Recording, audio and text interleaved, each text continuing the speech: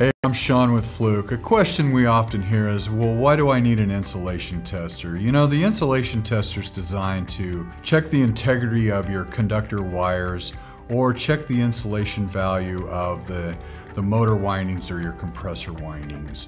We're trying to see if there's any breakdown in that that could potentially cause a fault. You know, we always want to use a, an insulation tester in your preventive maintenance plan. This would allow you to uh, start doing some streamline testing, maybe some baseline testing.